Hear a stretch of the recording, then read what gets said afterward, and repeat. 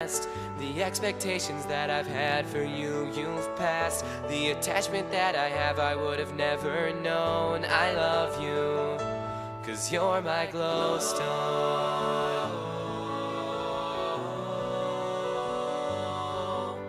Stone.